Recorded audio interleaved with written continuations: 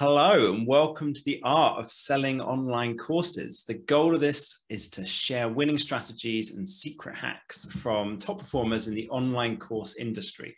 And today's guest is Jane Sagalovich. Now, since 2018, Jane has helped hundreds of experts create and sell their online courses with clarity, confidence, and ease.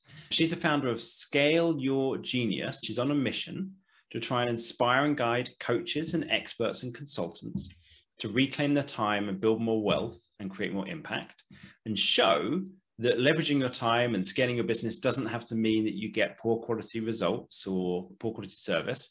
She wants to rid the world of crappy online courses. Now, I know that nobody listening to this has crappy online courses, but maybe if you're thinking of making your course and you want to make a great one, this is going to be for you. So before we start learning from Jane, I want to mention our sponsor. And today's sponsor is my company, Data Driven Marketing. What we do is we help online course creators to increase their online course revenue 20 to 100% through strategic funnel optimization. And we help you convert more visitors into leads, more leads into sales, and more sales into higher revenue sales. We do that through email marketing, webinars, um, lead magnet optimization, that kind of thing. So if you want to know how much more money you could be making, go to datadrivenmarketing.co slash calculator, put in your numbers, and we'll figure out for you how much more you could be making. Jane, welcome to the show. Thank you so much, John. I am really excited to be here. Nice. So let's get into it. You've got a different way of making courses to what other people do, a kind of a hybrid model. Can you talk everybody through how that works? Absolutely, absolutely. So I developed this model b- before 2018 with my last business. So 2018 and on, I've had Scale Your Genius, where this is the specific model I focused on. But uh, kind of this model came out of me trying to learn some things and taking some kind of what we think of as online courses, the regular online courses that are digital modules. Maybe there's a Facebook community or something. And I would get to a point where I would get stuck and then have no way to move forward. And because I didn't spend that much money on the course, I kind of just put it away and moved on. And so when I entered the business of making my own, one thing, like one of my driving values is impact. And so I really wanted to make sure that I am creating something that really makes a difference for the people taking it. And they don't have the experience that I did of you hit a roadblock and that's the end of the experience. So the hybrid online course model was born out of that. And it is based it's it's so simple. The simple principle underlying it is you just separate your teaching component which is what becomes your digital course. The digital modules that your clients go down is the step-by-step process that you teach. However you add on either one-on-one or group support from you the creator to enable your clients to one have somebody to ask questions when they get stuck and more importantly you as the you know as the holder of the wisdom of the brilliance that the course was based on this allows you to go so so so much deeper with your clients than you ever could if it is digital modules only. So i know passive income scalability is one of the goals that people have when they create online courses so when i originally present they're like yeah Jane, no no no, no thanks this sounds like coaching style and the really big difference is when the digital modules are created really well and really thoughtfully, the one on one or group time is minimized. So, in my experience, it's about one fifth to one quarter of the time you would spend per client. You can charge the same price as you would in a full one on one service because the outcomes are actually just as good, if not better. And so you do get to scale some, not infinitely in this first phase, which is what, so the hybrid online course is what I say it should be the first phase for a lot of creators.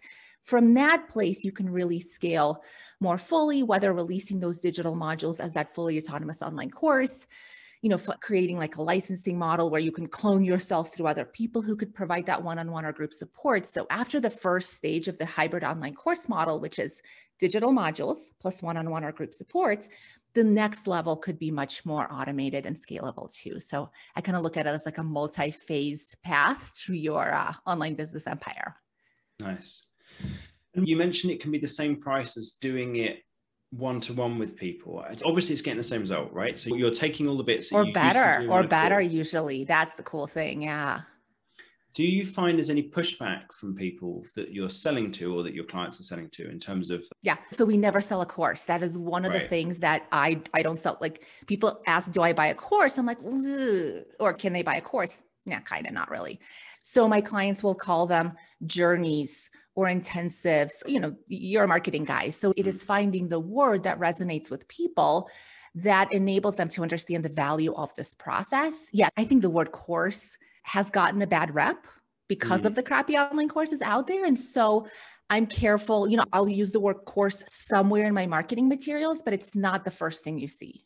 Yeah. So the course is almost like a feature of the entire thing. That's a great way um, of putting it. Yeah. Rather than the main focus. And what's your model with the coaching? Because you mentioned doing one to one or group. And I assume, is that like an option that you're offering people? Or is it like you choose which one you're going to do in advance? Yeah, yeah. So I personally offer unlimited one on one support until my clients get their first two clients. So that is my personal model. And we can dive a little deeper into like it's not a model I recommend as a blanket thing. Like people are like right. unlimited, you know, unlimited support. Now you're really crazy, Jane. Uh, right? Like we're talking scaling here. You're going the opposite direction. So there's a method to this madness. And I actually spend way, way, way less one-on-one time since I have implemented that model versus going from 30 minutes per module. So we can dive into that separately. But when I walk my clients through the course creation process. One of the first things they decide is what kind of outcomes they want their clients to have as a result of taking their program or course. And that determines how much support comes in. A lot of my uh, clients, I, I see a lot of people lean towards group first. I think partly because there's a lot of stuff on the internet that says you group is kind of the next step. I don't think it's right for everybody. I think there are more people out there doing group programs than there should be. And not every topic is good for group and not every coach or trainer is good at group facilitation. It's a very different skill than you know coaching or training or creating a course. And so maybe group maybe one-on-one but just a way for your clients to go deeper into the topic is really really all it is. Yeah yeah yeah. Okay. So if i get you right what you're saying is you figure out the transformation the result that you want people to get and then you go well how could i get them that? And then what are the bits that are, could be scalable? Okay I always teach these things. Every time I do it, I teach these things. One, I just record that in advance, take that out separately. Maybe a part of it is done well as a group. Maybe parts of it need to be done one to one, or maybe the whole thing need, could be done as a group or whatever. And you kind of like make that bespoke around how you're going to get the client the results as the starting point. Exactly. You figure out their destination, you figure out where they're starting from. So then, you know, in your marketing, in your marketing copy and messaging, you can speak to the person who's specifically at that point in their journey. Then you create the series of steps, which are your modules, right? And the modules guide them towards action. So I always say, when you create online core, it's not, inf- information is free, right? We can go on YouTube, we can go on Google, and we can find any information we want the course, the digital module journey has to take them down a step by step process of action. So you're enabling them to take action of every step of the process. At the end of these steps, whatever transformation or result has been achieved. And it is like the things you say, it's like, what am I sick of saying over and over again? Right. Mm-hmm. Like, mm. probably if you ask an aspiring course creator, they probably can come up with, like, yeah, every single client, here are the things I say. What are the pieces you teach? What are the pieces you train? There was an interesting statistic, and I, I'm going to mess up the exact numbers, but something like e-learning creates a 45% information retention, whereas in person learning creates an 8%. So 8% versus 45% data retention difference. So people mistakenly think that if they're teaching something, you know, if, if you're my client and I'm teaching yeah. you something like this, that it's better than in a digital format, and that's actually the reverse. Yeah, it's interesting. I worked with a coach for a while who had done a course as part of somebody else's coaching program. So it's kind of all a bit meta.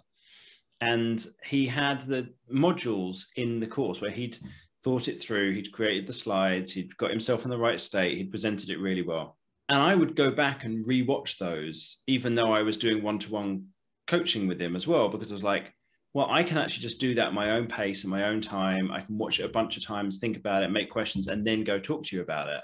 And that was like, and he might not have thought to bring that topic up, whereas I knew that that was available. So having that kind of combination was like super. Nailed it. That is exactly it. When we learn we want to do it at our own pace. If you want to take notes, you want to pause. And if this thing is happening live, you you can't pause. You yeah. know, and that's yeah. I, I, see especially with like group programs, that's one of the big mistakes I see people. So you have a live group call and they're training. One, that's a huge waste of their time because why are they doing this live? They're going to do this to the next group again. Why not pre-record it? Mm. Now these people they can't pause. They're going to end up watching the recording again. Now you're using up double of their time. Mm. Time is their most precious commodity. Like it's just not good for anybody, which is why I love love the idea of separating everything you train or teach into digital modules. Mm. Yeah. And I said that the, the outcomes are even better. This is exactly why, or this is one of the big reasons why. Nice. And what for you then is the deciding factor between you said you do a whole bunch that's one to one and some that's group then later after they've got the I do not host group. No, I do not okay. host group programs. Over the 4 years I did two. Again, this is when I said like the topic has to be right. I, I think that when people host groups, there has to be value to the client and not just instead of one person per hour, I can help 10 per hour. That's very yeah, creator centric. Mm. If there's no value to the client, I don't believe we should be creating group programs. And there was no value to my client. The group call, like they weren't having similar enough questions and issues, right? Because the group values when they get to benefit from each other's questions from the conversation in the group. And that was not happening. Yeah, we're just starting. We've done one to one for a long time. We're recording our course at the moment and we're starting a program really soon. And I had somebody message me about this and he said, I don't want to go onto group calls. And I was like, interesting. Is there a way that we can still help him and actually have the, you know, have the program work for him? So with your one-to-one support that you do for people, is that one-to-one calls? Is it you said it's not a regular ones? It's like they can book them in when they need them, or how does that part of it work? It's unlimited one-on-one support. So they have options of 30-minute Zoom calls, mm-hmm. and then I review their collateral, their course and marketing collateral, and also they could just like we have a communication portal, so they can just shoot over quick questions. And you know, I set very specific boundaries and guidelines. They cannot ask me questions of things that were obviously in the modules, right? Because right. then that's wasting my time, which is the whole point of not. So if they can't ask me things, they can easily Google. So yeah.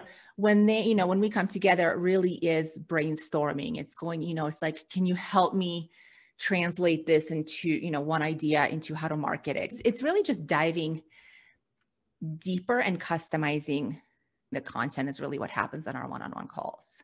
But yeah, there's no reteaching. It's not teaching, right? Then it goes into right. either coaching or brainstorming or diving deeper. Awesome. Okay, that's really smart. And so, what happens to someone they get two clients and that unlimited stops? Is there still more one to one? It's just not unlimited anymore. Nope. So there's no more one to one. They do have a lifetime access to the course. And so the idea is because I teach them a repeatable marketing strategy, a marketing plan. So it's kind of like once they have two, we've proven the model a little bit, not 100%, mm-hmm. but we've proven it enough to say we have a model that works. People are buying, you know, this is working. I actually, I was on an enrollment call yesterday and, and a woman had the same question. She's like, what if I get two clients and then that's the end of it? I'm like, well, I'll, I'll support, like, if that's the case, I will support you further. But in my experience, once they get two, especially if they're using the strategy I taught, they will get more. Huh. Interesting. Okay. And how long have you done it that way for with those one to one calls? So the first about a year. The first three years I did the more typical of like 30 minutes per module, 30 minutes right. of calls per module. Here's what, what was interesting was happening is they either my modules are really really good that's one of the things i pride myself on is creating really amazing ex- digital experiences and so people wouldn't need help. So they would get on this call because, you know, they quote unquote paid for it. And it would be such a waste of both of our time. And that didn't feel good for either one of us, right? Mm. They're like, wait, I thought I was supposed to get help and this isn't helping. And I'm like, well, you don't need help with anything. So why are we even doing this? And so that was what was happening. And then every once in a while, I'd have a client who would need more support, but would feel guilty asking for it. So they weren't getting what they needed and they weren't getting the results they needed. So overall, I spent about half of the time I did before when I opened it up to unlimited. Interesting. So people book less calls when they're unlimited. Mm-hmm. That's that cool? fascinating. Yeah. yeah.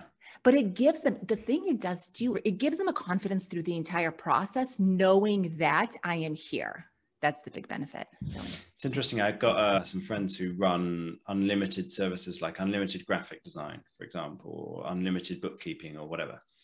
And it's stuff where it comes in bursts you know you need a bunch of support and then you don't. And it's like this gives someone the kind of the it's almost like insurance. It's like oh i've got mm-hmm. enough there. I can get however much i need. Exactly. it turns out you don't need as much as you thought you might do but you kind of got that comfort level from it. That's exactly it. Yeah, I love how you yeah, like the insurance analogies is really really good. That's exactly what it is. I'm here if you need you don't need to need me, but I'm here if you do. Yeah, yeah, you don't yeah. want to pay you don't want to make insurance claims.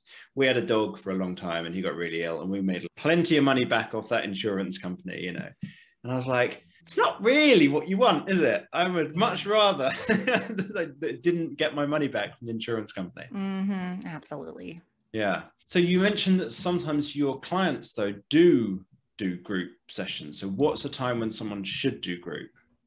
Yep. So whenever them seeing other people go through a similar experience is valuable. So a lot of on the mind uh, on the like mindset stuff, uh, personal development, performance. I find that being really valuable. Um, I'm trying to think of my clients who are doing group. One of my clients, so her course is relationship after baby. So it's specifically for couples who are about to have a baby, and everyone tells you what to do with a baby. No one tells you what to do with your partner. So that's a group program for couples. And it's really great for them to see other couples going through the exact same experience and how they're handling that. So it's like the, um, what's the phrase I'm trying to think of is like, the comfort of like seeing other people go through the same experience is comforting. Yeah.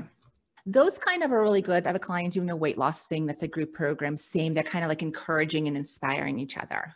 With um, what other ones are really good group relationship like relationship counseling really uh, well not counseling but relationship programs are really good too again it's, it's where people can hear from each other learn from each other you know maybe even build like build those relationships build those peer groups with each other you know they're kind of like a mastermind format where they need you know do they feel like an island otherwise do they need a supportive group to be able to go through this process better interesting do you ever with that then do you organize buddy groups or masterminds for people who are going through to kind of help them to get that group stuff i have not and, and i just I don't. I just don't think it's valuable for my topic. My program's 90 days. It's like efficient, get in, do this thing, build your online course empire. They, for this topic, I don't feel like it's helpful.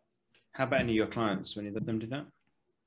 Building mastermind. Yeah, yeah. A lot of them have like, yeah, have a lot of um, just kind of mastermind community groups. Absolutely. Membership communities. Um, you know, so I'll say like my distinction, I know everyone has their own definitions, but the difference between a course in a community or a mastermind or a membership community is a course has a beginning and an end. And mm. the community or the mastermind's kind of ongoing. And that is what's better for those peer relationships too, is this is your group. This is who you grow with. You know, like I'm part of two communities that are kind of ongoing where I make great connections, I get, make amazing business partners. Some of those people become friends. And so there's two groups that I'm just a part of, but they're ongoing experiences where you do get to nurture those relationships over time. I don't know if I answered your question. Yeah, it's interesting. I just think it's something I've been thinking quite a lot about. So my wife went through a, a course um, called Human Potential Institute, and the guy who does Bulletproof Coffee, Dave something, mm, Dave Asprey. Yeah. So he was the one who kind of started this whole program, and they helped. So it's a course. They had weekly coaching. They had access to materials that you could see in advance. They had practice sessions. And they encouraged you to set up a mastermind with other people who are, they called it a buddy group, with other people who were going through the course. Mm-hmm. So every week you would have a call with these other two people and you would do practice runs. So this was about becoming a coach. And so you would each coach each other for 20, 30 minutes each week. And it was like apply all the stuff that you'd learned during the previous week and kind of start to test it out. And she found that enormously valuable. So we were looking at in our coaching program, are we going to help people to set those up? Mm, hmm Because I've some people seen... will benefit. Not everyone has to do it, but if yeah. you do want it, then we can help facilitate it. Yeah, I have seen that. Like accountability buddies is one way of saying it. Um, yeah. yeah, kind of creating in those, and that's for big groups, right? So if you're in a big group program, I'm assuming Dave Asprey's is probably pretty huge. Mm-hmm. How do you create a more personal experience within something that's otherwise really large? Yeah. I personally hate to be a part of those because I, I, just feel like it's like like I'm here to learn from the expert. It's like a little bit like a blind leading the blind, you know? Right, right, right. like you don't know. It's fine for like if you're practicing sales pitches or if you're practicing, yeah, like there, there's there's value in kind of practicing on each other. But I'm more of a learn from the expert type. Mm. Efficiency is one of my really big values. So I'm like, none of this stuff. Just give me get, get give me what I need to know. Cool. And what have you heard like with the kind of results that this gets for people, or what's some of the kind of feedback for anyone who's listening to this and thinking maybe I should try out that kind of model? What's the feedback you get from your clients? They love, love, love delivering it. One, they're making a ton of money. They're making about all my client, all is wrong. About 80% of my clients make four times what they were making before or more with this model. So they're making a lot more money, but they are just loving, loving, loving the process. Their testimonials are amazing coming in.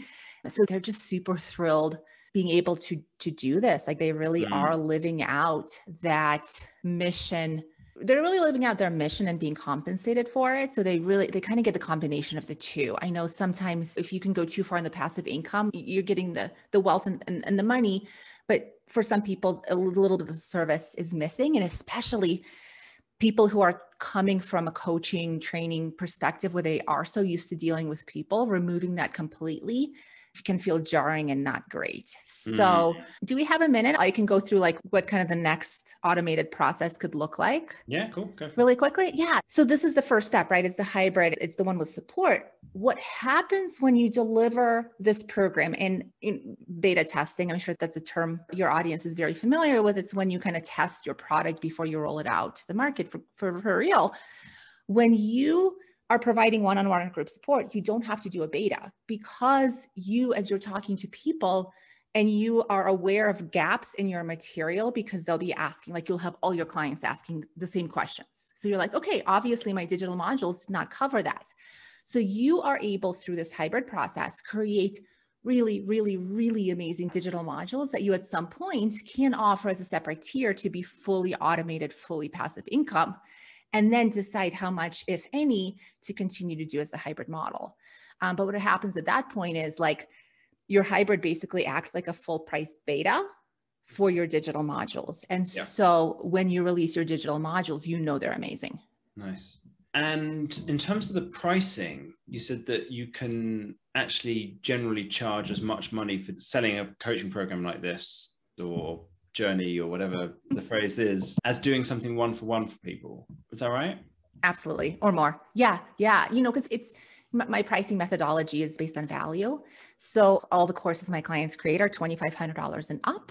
25,000 is, is the highest my like my clients have gone. I know these programs can sell for much more than that, um, but 2,500 is the low. And again, depending if somebody's selling a six month coaching program for $20,000, there's absolutely no reason to have a six month hybrid journey for at least that much. Great. Nice. If people want to go and learn more about, if they're like, okay, I want to learn a bit more about this model and, and how this all works, where can they go? Yep. So if they just want to like snoop around all my stuff, scaledgenius.com is my website. I have a lot of awesome live video recordings on there, blog posts, articles. It'll link you to my social media and all that. So scaledgenius.com. I have an amazing free gift for your community also. It is the 30K Blueprint Bootcamp. It is a three day evergreen bootcamp, just 30 minute video per day plus a worksheet on exactly how to create your blueprint for your own hybrid online course, how to build, sell, and deliver it. So that is go.scaledgenius.com forward slash data underscore driven. And that was a mouthful and it's going to be in the show notes, I think. notes. Yeah. yeah, absolutely. Cool. Well, if you found this interview useful, please give us a review wherever you listened and then come join the Advanced Online Course Creators group on Facebook. And you get early access to future interviews and support with growing your online course sales. Thanks so much, Jane. Really appreciate your time. Thank you, John.